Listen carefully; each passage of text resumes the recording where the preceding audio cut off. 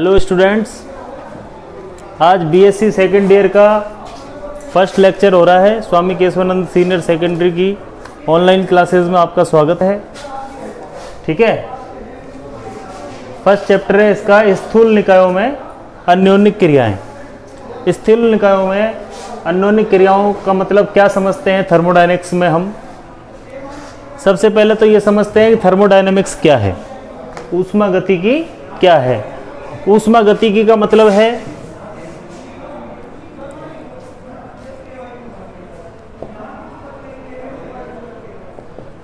Thermo means temperature, ठीक है? और डायनेमिक मीन्स मोशन। मतलब कि दो वस्तुओं के बीच में, दो वस्तुओं के बीच में जो ऊर्जा का विनिमय होता है। विनिमय मतलब मोशन मतलब ऊर्जा एक वस्तु से दूसरी वस्तु में जो जाती है और उसके बारे में जो हम डिटेल में अध्ययन करते हैं, ठीक है? तो वो फिजिक्स की जिस ब्रांच के अंदर करते हैं, वो होती है उष्मा गतिकी ठीक है? तो हमको सिर्फ़ जो ऊर्जा का जो विनिमय हो रहा है, उसके बारे में अध्ययन करना होगा उष्मा गतिकी के अंदर, ठीक है? अब इसकी कुछ बेसिक डेफिनेशंस हैं, जिनके बारे में हम जान लेंगे। तो आगे के जितने भी चैप्टर्स हैं, उन सबको पढ़ना इजी हो जाएगा, ठीक है? और ये सबको क्लियर होनी चाहिए सारी के सारी डेफिनेशंस ठीक है? अदरवाइज़ आपके सर के ऊपर से जाता रहेगा और आपके कुछ समझ नहीं बैठेगा, ठीक है?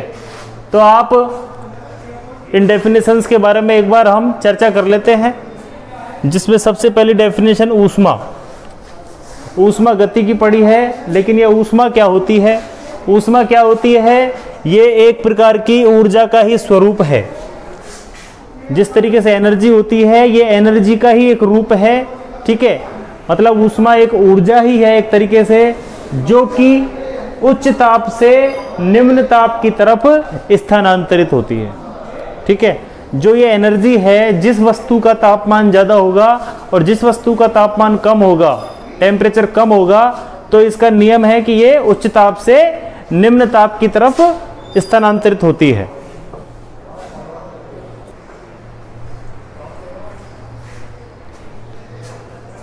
ठीक है बच्चों तो ऊष्मा की डेफिनेशन आप लोगों को समझ आ गई होगी।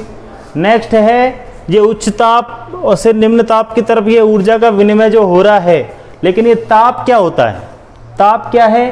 किसी वस्तु या निकाय का वह भौतिक गुण है ये जो कि उसकी गर्माहट या शीतलता का बोध कराता है, ताप कहलाता है, ठीक है? किसी भी वस्तु को हम टच करते हैं तो वो गर्म महसूस होती है या ठंडी महसूस होती है, ठीक है? या नॉर्मल होती है।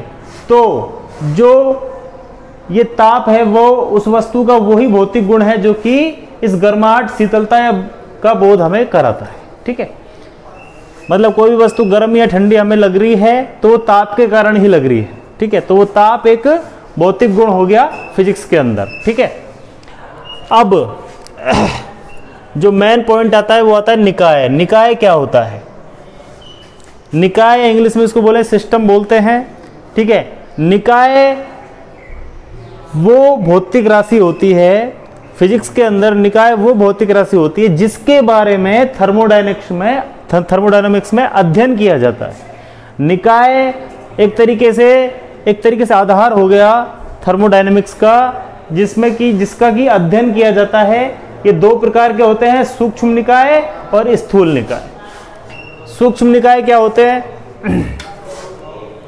जैसे कोई वस्तु है हमारे पास तो उस वस्तु के अंदर छोटे छोटे इलेक्ट्रॉन्स, प्रोटॉन्स, न्यूट्रॉन्स, ठीक है, परमाणु होते हैं उसके अंदर।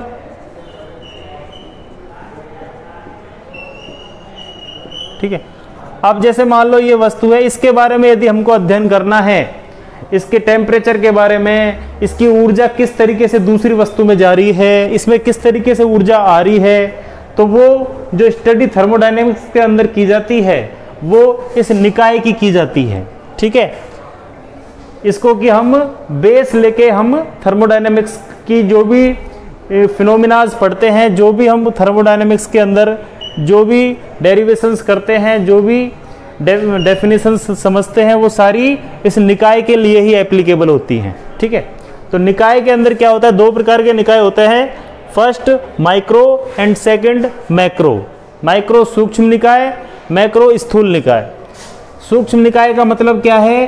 कि इस वस्तु के अंदर जो छोटे छोटे ये पार्टिकल्स हैं, यदि हम सेपरेटली इनके बारे में अध्ययन करें प्रत्येक एक सूक्ष्म निकाय के लिए यदि हम अध्ययन करें तो ये सूक्ष्म निकाय ये होते हैं, यदि हम इनके बारे में अध्ययन करें। छोटे छोटे पार्टिकल्स के बारे में यदि हम अध्ययन करते हैं तो वो सूक्ष्म निकाय की तरह काम करते हैं। और यदि हम इस पूरी वस्तु का, जिसके अंदर बहुत सारे सूक्ष्म निकाय हैं, उसका यदि कंप्लीटली पूरी उस वस्तु के बारे में अध्ययन करें तो वो स्थूल निकाय होते हैं। स्थूल मीन्स बड़ा। ठीक है? तो ये जो वस्तु है, इसके अंदर बहुत सारे छोटे छोटे से पार्टिकल्स हैं, परमाणु है बहुत सारे। तो इनके बारे में इकट्ठा कंबाइंड रूप में यदि इसके बारे में स्टडी करेंगे तो वो स्थूल निकाय होगा। अब यहाँ से हमारा टॉपिक स्टार्ट होता है, स्थूल निकायों में अन्योनिक क्रियाएँ, ठीक है?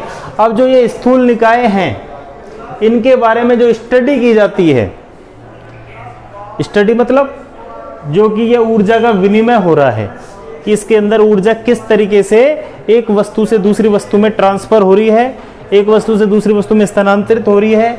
जो ये स्थूल निकायों के बारे में जो हम अध्ययन करेंगे, उसकी दो विधियाँ हैं। एक तो ऊष्मागतिक विधि है और एक सांख्यिकीय विधि है, जो कि हमारी इस बुक का भी नाम है ऊष्मा गतिकी एवं सांख्यिकीय भौतिकी। ठीक है? तो स्थूल निकायों की, जो ये स्टडी की, जो ये जो ये मेथड हैं। गतिक विधि और सांख्यिकीय विधि, इन्हीं के ऊपर हमारी पूरी बुक डिपेंड करती है और हमको पहले जो अध्ययन करना है थर्मोडाइनमिक्स के अंदर, वो गतिक विधि के बारे में अध्ययन करना है। सांख्यिकीय विधि के बारे में बाद में स्टडी करेंगे। ठीक है? तो गतिक विधि क्या कहती है? गतिक विधि को समझने से पहले हमको निकाय के कुछ पैरामीटर्स के बारे में हम समझना ज़रूरी है कि निकाय जो कि स्थूल निकाय है, इसके बारे में जो हम स्टडी करेंगे, जो हम अध्ययन करेंगे तो वो कुछ पैरामीटर्स के ऊपर डिपेंड करता है। जो भी अध्ययन होगा, वो इन पैरामीटर्स पर डिपेंड करेगा कि उस वस्तु का आयतन क्या है, ताप क्या है, दाब क्या है, विद्युत क्षेत्र क्या है उसके अंदर, और चुंबकीय क्षेत्र क्या है। तो ये निकाय के वो पैरामीटर्स हैं जिस पर कि हमको जिनके द्वारा हमें इसकी पूरी कंप्लीट स्टडी करनी होगी। ठीक है? अब ये ऊष्मागतिक निकाय क्या होता है? ऊष्मागतिक निकाय वो निकाय होते हैं जिनकी अवस्था ताप, दाब, आयतन एवं आंतरिक ऊर्जा द्वारा व्यक्त की जा सके। वो ऊष्मागतिक निकाय कहलाते हैं। ठीक है? अब हमको ऊष्मागतिक विधि से स्थूल निकायों के बारे में अध्ययन करना है तो अब हम ऊष्मागतिक निकाय के बारे में भी बात कर लेते हैं। ठीक है? ऊष्मागतिक निकाय क्या होगा? जिसकी अवस्था को ताप, दाब, आयतन एवं आंतरिक ऊर्जा द्वारा व्यक्त किया जा सके, वो ऊष्मागतिक निकाय कहलाते हैं। ठीक है? अब ये ऊष्मागतिक निकाय कितने प्रकार के हो सकते हैं? ऊष्मागतिक निकाय तीन प्रकार के हो सकते हैं। खुला बंद खुला निकाय, बंद निकाय और विलगित निकाय। Open, close, isolated. खुला निकाय का मतलब क्या है? खुले निकाय का मतलब यह है,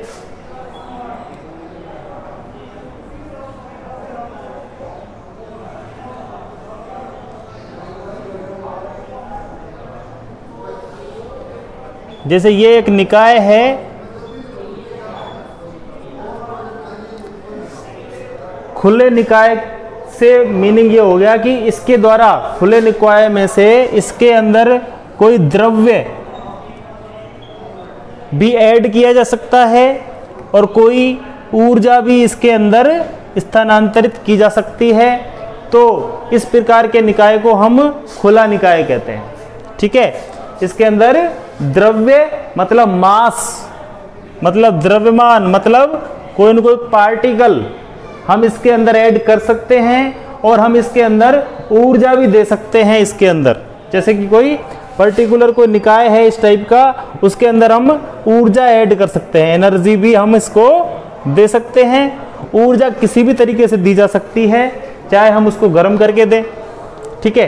चाहे हम कैसे भी दें, उसको प्रेस करके दें, चाहे कैसे भी करके उसके अंदर हम एनर्जी दें, लेकिन उसके अंदर हम एनर्जी दे सकते हैं। साथ ही वो इतना, वो ओपन होता है, उसके अंदर हम मास भी दे सकते हैं।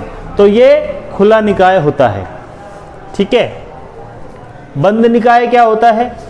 बंद निकाय के अंदर हम उसके अंदर एनर्जी तो दे सकते हैं, लेकिन उसमें हम कोई मास या कोई पार्टिकल उसके अंदर हम ऐड नहीं कर सकते हैं। सिर्फ़ हम एक निकाय, एक बंद निकाय, दूसरे बंद निकाय के साथ में एनर्जी का ट्रांसफ़र तो कर सकता है। ठीक है? लेकिन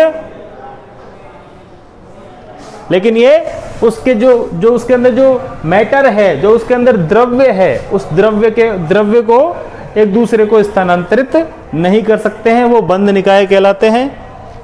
ठीक है? और विलगित निकाय कौन से होते हैं? विलगित निकाय वो निकाय होते हैं जो कि एक निकाय दूसरे निकाय से ना तो वो द्रव्य का स्थानांतरण कर सकता है, ना ही वो ऊर्जा का स्थानांतरण कर सकता है। ठीक है? तो इस प्रकार के जो निकाय होते हैं, वो विलगित निकाय होते हैं। ठीक है? अब आती है बात निकाय की अवस्थाएँ। निकाय की अवस्थाएँ कौन सी होती हैं? निकाय की अवस्थाओं में तीन प्रकार की अवस्थाएँ हो सकती हैं। इसकी स्थूल अवस्थाएँ, सूक्ष्म अवस्थाएँ और अभिगम्य अवस्था स्थूल अवस्थाएँ कौन सी अवस्थाएँ होती हैं? ये वो अवस्थाएँ होती हैं जिनको कि ताप, दाब, आयतन संरचना से व्यक्त करते हैं। स्थूल अवस्थाएँ कहलाती हैं और सूक्ष्म अवस्थाएँ वो अवस्थाएँ होती हैं जिनके स्तर, जिनको ऊर्जा स्तरों के रूप में व्यक्त करते हैं। सूक्ष्म जो अवस्थाएँ होती हैं, उनको ऊर्जा स्तरों के रूप में व्यक्त करते हैं और अभिगम्य अवस्थाएँ वो होती हैं जिन, जो कि सूक्ष्म अवस्थाएँ होती हैं।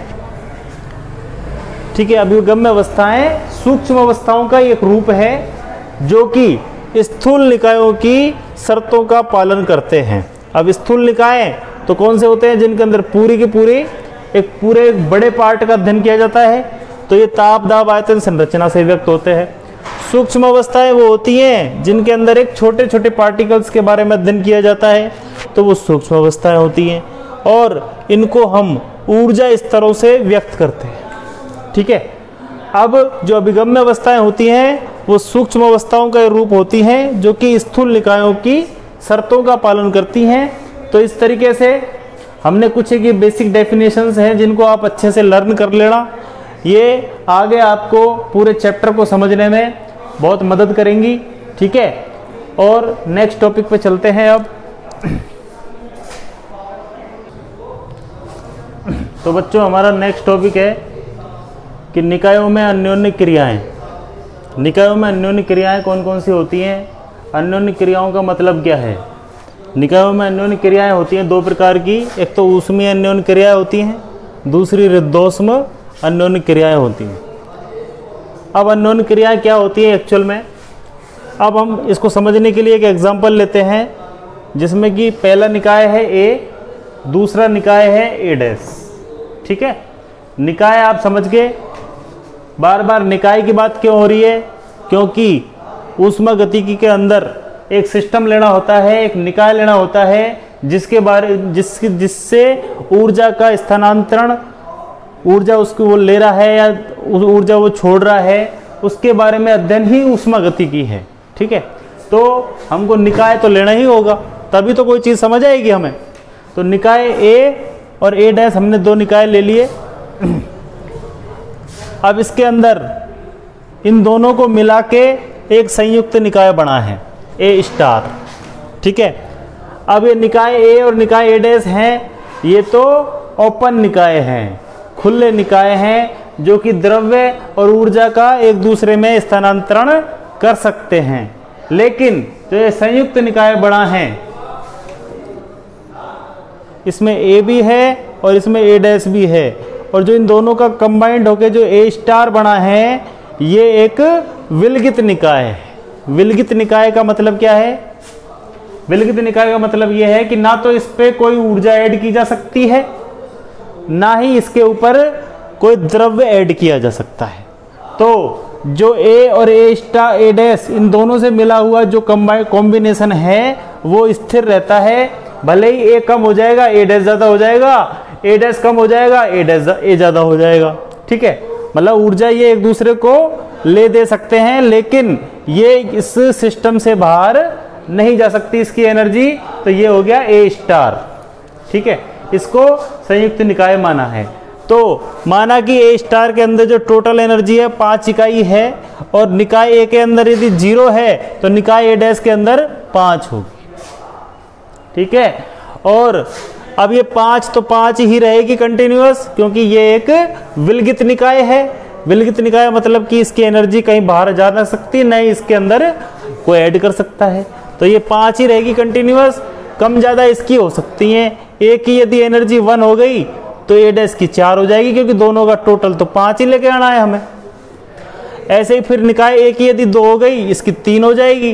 क्योंकि टोटल हमें पाँच इकाई लेके आना है, क्योंकि इसके अंदर ऊर्जा नियत है, ये एक विलगित निकाय है ए स्टार जिसके अंदर ऊर्जा नियत रहेगी। तो इस तरीके से हम इसको समझ सकते हैं कि निकायों के अंदर ये एक एग्ज़ाम्पल है, ठीक है? तो इस केस में क्या होगा? माना ये ई e आई क्या है? ए की प्रारंभिक ऊर्जा है। इनको कंबाइन करने से पहले की ऊर्जा है ई आई ए की, जो ए निकाय है उसकी। और ई आई डैश क्या है? ए डैश निकाय की प्रारंभिक ऊर्जा है।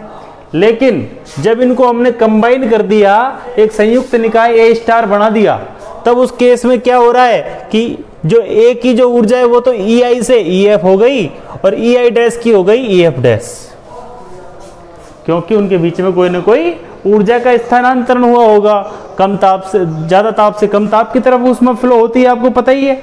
तो टेम्परेचर उसका बैलेंस बनाने के लिए उच्च उच्च ताप से निम्न ताप की तरफ़ ऊर्जा का स्थानांतरण हुआ होगा उष्मा का स्थानांतरण हुआ होगा। उसकी वजह से ई e आई से ई e एफ़ हो गई ई आई डैश से ई एफ़ डैश हो गई। ठीक है बच्चों? अब क्या होगा? तो जब ए से ए की ए निकाय की ऊर्जा ई आई से ई एफ़ हो गई है तो उसके अंदर चेंज क्या हुआ? ई एफ़ माइनस ई आई ई आई को इधर चले गए, लेके। ई एफ़ माइनस ई आई हो गया।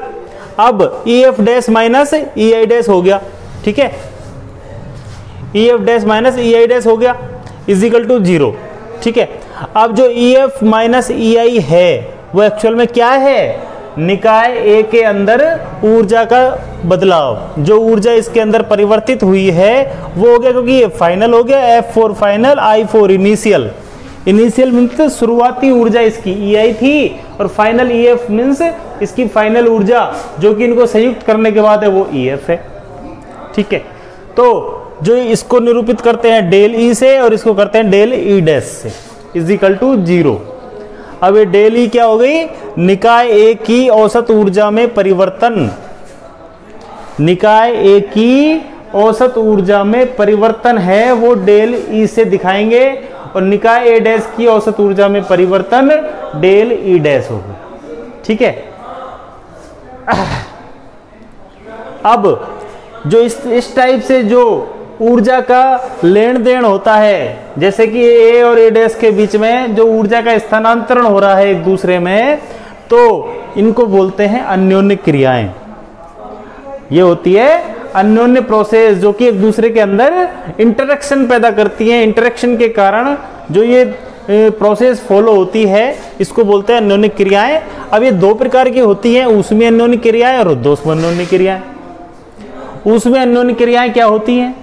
निकाय के, इन उसमें अन्योन्य क्रियाओं के अंदर क्या होता है कि इसके ऊर्जा स्तरों में कोई परिवर्तन नहीं होता है। मतलब जो ये निकाय है ए और ए डैश यदि उसमें अन्योन्य क्रिया इनके बीच में होंगी तो उस केस में क्या होगा? इसके ऊर्जा स्तरों में, इनके ऊर्जा स्तरों में कोई परिवर्तन नहीं होता है। ठीक है? अब इक्वेशन फ़र्स्ट से हम देखें तो ए व ए डैश की ऊर्जा में परिवर्तन को यदि क्यू व क्यू डैश से शो करें। क्यू क्या है? ऊष्मा के लिए आया है। ऊष्मा के लिए क्यों आया है? क्योंकि हम यह बात कर रहे हैं उसमें अन्योन्य क्रियाएँ, क्रियाओं की।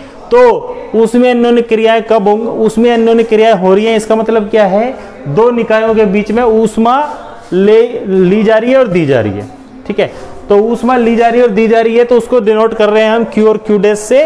तो इसके अंदर जो एनर्जी है ये, इस एनर्जी को हम क्यू और क्यू डैश से शो करेंगे।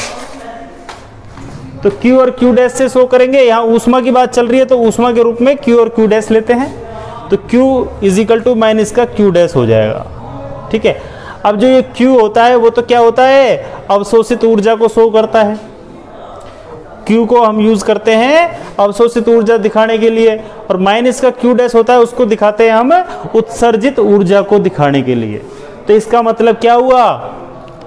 अवशोषित ऊर्जा बराबर उत्सर्जित ऊर्जा। मतलब एक निकाय ए जिससे, जिसके द्वारा जितनी ऊर्जा अवशोषित की जा रही है, क्योंकि क्यू हमने ए के ए निकाय के लिए लिया है और क्यू डैश हमने लिया है ए डैश निकाय के लिए। तो निकाय ए द्वारा अवशोषित ऊष्मा निकाय ए डैश द्वारा उत्सर्जित ऊष्मा के बराबर होगा। ठीक है? तो इस तरीके से जो अन्योन्य क्रियाएँ होती हैं, ये इस समीकरण को लेकर आती है हमारे पास। एक निकाय द्वारा अवशोषित ऊष्मा दूसरे निकाय द्वारा उत्सर्जित ऊष्मा के बराबर होती है। कब होती है? जबकि वो दोनों मिला के एक विलगित निकाय बना रहे हों। समझ गए? इसी एग्ज़ाम्पल को के बेस पे ही हमने ये डेफिनेशंस बताई हैं आपको। नेक्स्ट है रुद्दोष मनोन क्रियाएँ। रुद्दोष मनोन क्रिया क्या होती है? इसके अंदर जो ये निकाय हैं, इसके अंदर जो ये निकाय हैं, वो ऊष्मारोधी हैं। मतलब उनमें ऊष्मा का एक दूसरे में विनय नहीं हो पाता अपने आप, लेकिन उसके कुछ बाह्य प्राचलों में परिवर्तन के बाद हम उसके अंदर ऊष्मा का विनिमय स्थापित कर सकते हैं। ये रुद्धोष मनोन क्रियाएँ होती हैं, जो निकाय जिनके अंदर की एनर्जी एंटर नहीं हो सकती ऊष्मा उनके अंदर नहीं जा सकती, उनके अंदर जो वॉल होती है उनके चारों तरफ़, जैसे मैंने बताया था आपको, ये इसके अंदर छोटे छोटे ये वॉल है ये वॉल क्या है? ऊष्मा रोधी है।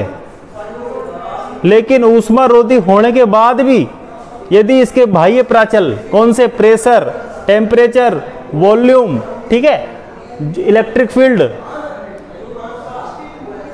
मैग्नेटिक फ़ील्ड तो ये जो है, इनको यदि हम चेंज करके और इसके अंदर ऊष्मा का संचरण कर सकें तो इस प्रकार की क्रियाओं को क्या बोलते हैं? रुद्धोष्मा अन्योन्य क्रियाएँ ठीक है? तो ऊष्मारोधी विलगित निकायों के बाह्य प्राचलों में परिवर्तन करके उनके मध्य ऊष्मा विनिमय स्थापित कर सकें तो वो प्रकार के, वो उस, वो कौन से प्रकार की होती है? रुद्धोष्म अन्योन्य प्रकार की अन्योन्य क्रिया होती है। ठीक है?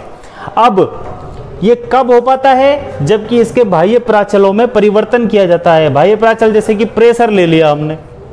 अब प्रेशर को लेंगे तो देखो, ये जैसे हमारे पास में एक विलगित निकाय है। ठीक है? अब इसके अंदर छोटे छोटे पार्टिकल्स हैं। ये एक विलगित निकाय की तरह कार्य करेगा। ये वाला पार्ट ठीक है?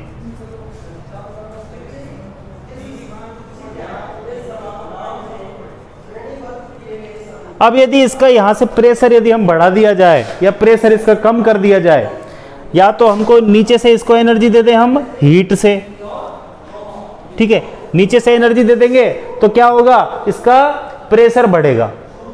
इसका प्रेशर बढ़ेगा तो ये पिस्टन यहाँ से शिफ्ट होके इधर चला जाएगा। ठीक है? तो इस तरीके से क्या हुआ? इसके अंदर, इसके बाह्य प्राचल, जो कि हीट से हम यहाँ पे जनरेट कर रहे हैं टेम्परेचर हो गया। बाह्य प्राचल, हमको पता है प्रेशर है टेम्परेचर है वॉल्यूम है। तो इसके अंदर, इसका टेम्परेचर यदि हम चेंज कर देंगे तो इस केस में क्या होगा? इसका ये ये पिस्टन यहाँ से इधर शिफ्ट हो जाएगा। और जब इधर से इधर शिफ्ट हो रहा है तो विस्थापन हो रहा है, और विस्थापन हो रहा है तो कार्य होगा। तो इस प्रकार जो इसकी जो ये इक्वेशन थी एनर्जी में जो चेंज हुआ है, उसको हम कार्य के द्वारा निरूपित करेंगे। W plus W dash is equal to W is equal to minus का W डैश तो इस केस में एक निकाय द्वारा किया गया कार्य दूसरे निकाय पर कार्य के तुल्य होता है। ठीक है? तो बच्चों, इस तरीके से हमने आज इसकी कुछ बेसिक चीज़ें पढ़ी है थर्मोडाइनमिक्स की, जिसके अंदर निकायों की अन्योन्य क्रिया ये इंपॉर्टेंट है और बाकी का बाकी की और भी डेफिनेशंस हैं जिनके बारे में अभी हमें अध्ययन करना है, जिनकी इनिशियल डेफिनेशंस हमें पता होना ज़रूरी है। तो बाकी अगले लेक्चर में करेंगे। ठीक है बच्चों? तो आप कंटिन्यूसली साथ के साथ अपने एंड से भी बुक्स की हेल्प लेते हुए अध्ययन करते जाइए, जिससे कि हम इसको टाइमली कंप्लीट कर सकें। ठीक है बच्चों?